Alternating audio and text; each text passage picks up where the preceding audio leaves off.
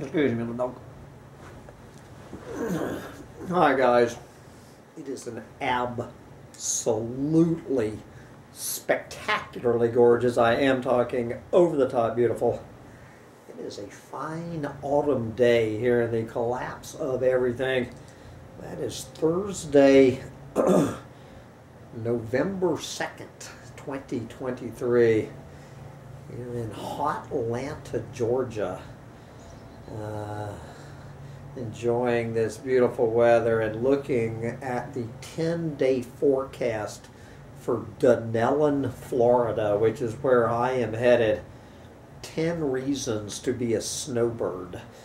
But anyway, uh, as I mentioned on this rant I just did, I've been on the road for several days. Haven't gotten around to doom scrolling. I got kind of, I got kind of hung up over there at medium.com reading uh, Michael Campy's uh, light-hearted hatchet job that he just did on me. Uh, so anyway, uh, getting back on track. So I go over here to the mainstream media to see how long am I going to have to doom scroll before coming up with today's straight ahead daily chronicle of the collapse. And I had to make it to story number three on the planet. We had the kerfuffle over there in the Middle East, number one. Donald Trump being the number two biggest story on the planet. So, kerfuffle, Donald Trump, and coming in third, it took me about five seconds since I did not open the first two stories. And good old Guardian coming in, you know, while I was over ranting about uh, all of the divisiveness in the doomosphere, all of the infighting and divisiveness and, and all of this, and doomer cancel culture I open up and we find a story a uh, little bit along the line about the the built the continuing uh, fight between James Hansen and Michael Mann as James Hansen uh, comes out swinging uh, in his latest paper. I I was just going to read parts of Jim's paper, but the good old Guardian has done a fine job, so I'm just going to share their story, and you can read it yourself. But uh, as the leaf blowers blow, I will just sit here and do this for you if you want to sit around listening to me read it. Take it away, Guardian. global heating is accelerating, warns scientist who sounded climate alarm in the 1980s, which of course is James Hansen. Now, I vaguely remember doing a very similar article to this one uh, a few months ago, and I guess things are heating up in the doomosphere. Take it away. Guardian and James Hansen and then we'll mention Michael Mann in a minute. Global heating is accelerating faster than is currently understood and will result in a key temperature threshold being breached as soon as this decade, according to research led by James Hansen, the U.S. scientist who first alerted the world to the greenhouse effect, which is not exactly true. They're talking about in 1988, I it's what they're talking about. I distinctly remember being an elementary school student in Atlanta, Georgia, right here in the 1960s, where they were teaching about the greenhouse effect in textbooks for fourth graders in the 1960s in Atlanta, Georgia. So, anyway, uh, back to the Guardian and James Hansen. the Earth's climate is more sensitive to human caused changes than scientists have realized until now, meaning that a dangerous burst of heating will be unleashed that will push the world to be one and a half C hotter than it was on average in pre industrial times within the 2020s and 2 C hotter by 2050. Hansen's paper published on Thursday predicts, uh, and you can click on the Hansen's latest paper, and then they mention uh, the article that I covered already a couple of months ago to you know that this is an update of now that the paper's been officially released by Hansen. And it used I mean, this thing is a book. It's not a paper, it's a book. this alarming speed up of global heating, which would mean the world breaches the internationally agreed one and a half C threshold set out of the Paris Climate Agreement far sooner than expected. Risks a world, quote, less tolerable to humanity with greater climate extremes, close quote, according to the study led by Hansen, the former NASA scientist who issued a foundational warning about climate change to the U.S. Congress back in the 1980s. Hansen said there was a huge amount of global heating, quote, in the pipeline because of the continued burning of fossil fuels and Earth being very sensitive to the impacts of this. Far more sensitive, you know, according to Hansen, than the best estimates laid out by the IPCC. quoting uh, Hansen, I think, from the original story, but he might still be saying this because it's true. Uh, quote, we would be damned fools and bad scientists if we did not expect an acceleration of global warming. We are beginning to suffer the effect of our Faustian bargain that is why the rate of global warming is accelerating, close quote. Okay, so now we get to all of the backbiting and infighting and drama over here in this section of the Doomosphere uh, that Michael Campy was talking about in his column on medium.com. the question of whether the rate of global heating is accelerating has been keenly debated among scientists this year amid months of record breaking temperatures. Hansen points to an imbalance, an imbalance, no shit, between the energy coming in from the sun versus outgoing energy from the earth that, you know, he says has, quote, notably increased, almost doubling over the past decade. Decade. This ramp up, he cautioned, could result in disastrous sea level rise for the world's coastal cities.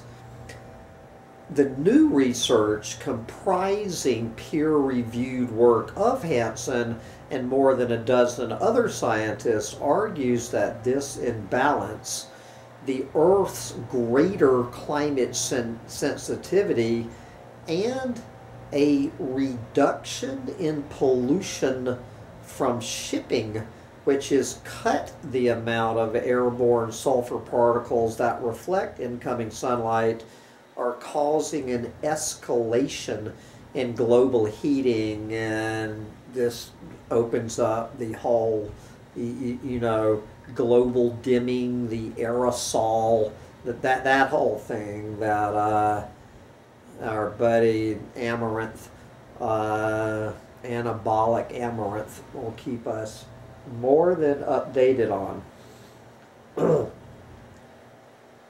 Quote, we are in the early phase of a climate emergency, close quote. The paper warns. Such, back to the paper, such acceleration is dangerous in a climate system that is already far out of equilibrium. Reversing the trend is essential. We must cool the planet for the sake of preserving shorelines and saving the world's coastal cities. Close quote. Uh, to deal with this crisis, Hansen and his colleagues advocate for a global carbon tax as well as more controversially efforts to intentionally spray sulfur into the atmosphere in order to deflect heat away from the planet and artificially lower the world's temperature. Uh, so understand James Hansen is now fully on board with uh, solar radiation management what the chemtrail wackos call chemtrails. Uh, for the record, I am uh, I, I, I am one doomer who does not agree with James Hansen that it's time, but the, the you know the whole uh, solar radiation management debate here in the doomosphere uh, this heated debate, uh, shall we say, uh, it, it, it's just one more example of frying pan or the fire or frying pan and the fire. It, you know, it, it makes no difference. If we don't do it, we are doomed. If we do do it, we're doomed. We're damned if we do. Uh, we're doomed if we do, doomed if we don't. It makes no difference whether we stick to the present course or try that. Either way, we are going down.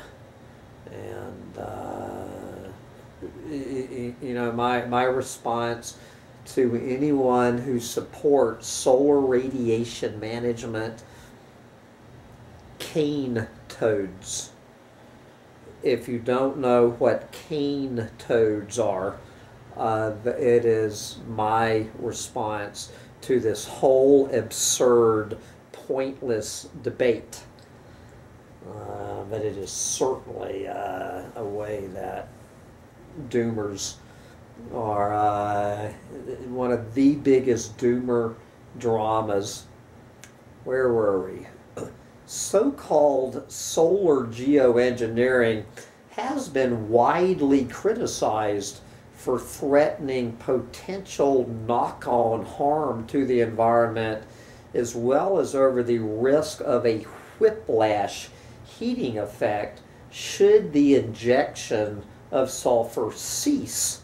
You know what, what they're talking about in, in that, in case you, you don't follow what they're saying, uh, it, it is if you let that toothpaste out of the tube, the the solar uh, geoengineering, SRM, chemtrails, whatever you want to call it, once you let that out of the tube, you can never stop using it it would be like the global dimming effect uh, on, on absolute steroids. So they, they, they start doing it, and the fear is they start doing this, and let's say it works. Well, they would have to do it forever, and for whatever reason, if, if there were a pause in it, if, if, if we stopped doing it, that within no time at all, the uh, the temperature would would would skyrocket, possibly in a matter of days, and would fry the planet. Uh, is what they're is what they're talking about. Um, Hansen said that while cutting emissions should be the highest priority, quote, thanks to the slow the slowness in developing adequate carbon-free energies and failure to put a price on carbon emissions, it is now unlikely that we can get there a bright future for young people from here without temporary help from solar radiation management, close quote, ignoring the fact that there's no such thing as temporary help from solar radiation management. And then, of course, there's the bigger uh, story of, of why would we want to save the world's coastal cities, but that's another rant for another day. Uh, this year is almost certain to be the hottest ever reliably recorded with climate, uh, with temperatures in September described as gobsmackingly bananas by one climate researcher. A report this week found out that the carbon budget to limit the world to one and a half C of heating is now nearly exhausted due to the continued burning of fossil fuels and deforestation. But while scientists are clear about this being part of an upward trend of global heating, there is as yet no agreement, no agreement, you know, among the doomers that this trend is accelerating. And here's where, of course, we hear from uh, the, the anti-doomer Michael Mann. Michael Mann, a climate scientist at University of Pennsylvania, said that Hansen and his co-authors are, quote, very much out of the mainstream, are very much out of the mainstream in identifying an acceleration in surface heating that has, according to Mann, quote, continued at a remarkably constant rate for the past few decades, close quote. So basic, essentially, Michael Mann is calling James Hansen either a liar a liar, crazy, or an alarmist. Mann, and I agree with Michael Mann, said that cuts to shipping emissions have only a tiny effect on the climate system and much more importantly, and I 100% agree with Michael Mann, that calls for solar geoengineering are misguided and a quote, very slippery slope. So now we have, th th this is very interesting. So I'm 100% uh, in agreement with James Hansen, no shit Sherlock, what is going on with the acceleration. Uh, I mean, Sancho Panza could figure that out, but ironically enough, I am 100% in agreement with Michael Mann what not to do about it. And this whole ridiculous notion of, about shipping uh, uh, uh emissions. I, I have read that study I'm hitting the bullshit detected button. I, I, I, I completely uh, just I, I, I just reject that. It, it, it is it, it, it, anyway. Uh, moving on. Bärbel Hönisch, a paleoclimatologist at Columbia University, said she had, quote, some reservations about the certainties expressed in Hansen's research about the state of the Earth's climate millions of years ago, which helps predict the consequences of warming today. Quote, I'd be a little more reserved, but they may well be correct. It is a nicely written paper. It raises a lot of questions that will trigger a lot of research that will bring our understanding forward, close quote. Some other researchers are less skeptical of Hansen's dire warning of supercharged global heating, highlighting his previous prescient warnings about the climate crisis that have largely played out due to decades of inaction to stem the use of fossil fuels.